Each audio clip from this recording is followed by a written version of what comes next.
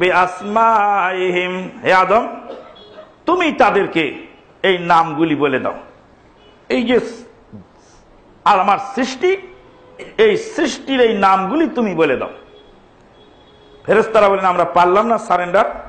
আল্লাহ বলেন, আদম, তুমি বলে দাও। আদম আলাইসাল্লাম তখন বলে দিলেন, সব বস্তুর নাম। কয়লা আলাম্মা কুল্লাক আলাম আকুল্লাকুম ইন্নি আলামু গায়বাস সামাওয়াতি ওয়াল আরদ ওয়া আলামু মা তুবদুনা ওয়া মা কুনতুম তাকতুমুন।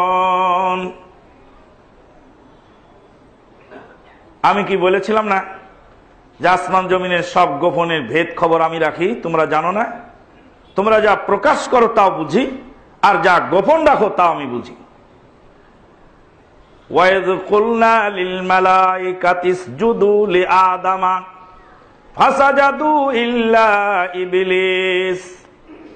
এখন বললেন, তাহলে আদম আলাইহিস সালাম যখন বলতে পারল আর তোমরা যখন বলতে পারলে না, তাহলে উনি উস্তাদ। আর তোমরা সাগরেদ। এবার সারেন্ডার করো উস্তাদের কাছে। উস্তাদের কাছে মাথা নত করো। এটা হলো তাজিমি সেজদা। এটা আদম আলাইসাল্লামের জন্য ফেরেস্তাদের পক্ষ থেকে বৈধ, যেহেতু আল্লাহর নির্দেশ। একজন জালেম বসে আছে মক্কায়।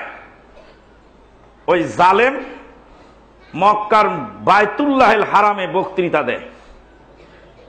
জালেম, ওই জালেম বলছে যে, ইবলিস শয়তান ঠিকই করেছে। আর এ জালেম এই বক্তব্য নিয়েছে মনসুর হেল্লাজের কাছ থেকে। না, মনসুর হাল্লাজ। মনসুর হাল্লাজের কাছ থেকে। মনসুর হাল্লাজ বলছে, ইবলিস শয়তান ঠিকই করছে। আরে, সেজদা করব না করব, আল্লাহকে সেজদা করব। আদম আলাইসাল্লাম আবার যে তাকে সেজদা করা লাগবে? আদম আলাইসাল্লাম কি আল্লাহ না গায়রুল্লাহ? গায়রুল্লাহ। তাহলে আদম আলাইসাল্লাম গায়রুল্লাহ। তো গায়রুল্লাহকে সেজদা করব কেন? সেজদা করব না করব, আল্লাহকে করব। গায়রুল্লাহকে সেজদা করব কেন? মনসুর হেল্লাদের বক্তব্য ইবলিশ শয়তান ঠিক আছে।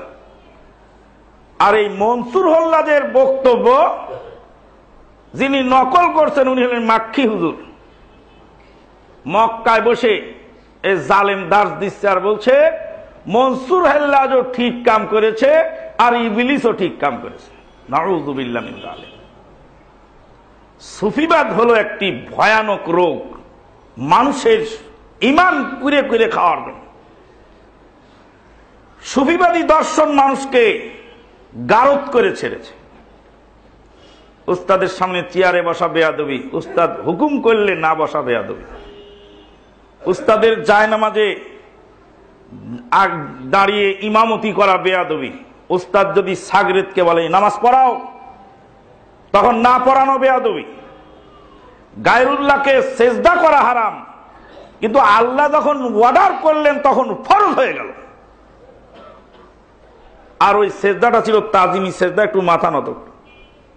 এই সেজদা আমাদের শরীয়তে এসে মানা করে দেওয়া হয়েছে। আবু হুরাই রাদি আল্লাহ তালানু বলেন যে, আমরা নবী সাল্লাহ সাল্লামকে জিজ্ঞেস করলাম যে, বিভিন্ন দেশের রাজাবাদ ছাড়া যখন আসে তখন তার দেশের সভাসদ পরিষদের একটু মাথা নষ্ট করে সম্মান জানায়। কুর্নিশ করে। তা আমরা একটু কুর্নিশ করতে চাই। নবী সাল্লা সাল্লাম বললেন, কুর্নিশ করা চলবে না। যদি কুর্নিশ করার অর্ডার দিতাম, তাহলে মহিলাদেরকে দিতাম তার স্বামীকে কুর্নিশ করতে। তবে ওই সনাতন পন্থীরা আপনারা জানেন কিনা, সকালে ঘুম থেকে উঠে ওই মহিলারা ওই স্বামীকে কুর্নিশ করে তারপরে কাজে বের হয়। কারণ স্বামী হলো তাদের দেবতা। স্বামী যে দেবতা, বাচ্চা হয় কীভাবে? হ্যাঁ? দেবতা তো বুঝলাম, তো বাচ্চা হলো কীভাবে? নাউজুবিল্লাহ জালেক ওই সনাতন ধর্ম আর সুফিজম একই জিনিস। সুফিজমের সুফিবাদীরা ওরস করে থাকেন, ওরস। ওরস তো আসলে ওরস নয়, ওটার নাম হলো আরুস। আর আরুস মানে হলো বাসর রাত। পরমাত্মার সাথে যখন,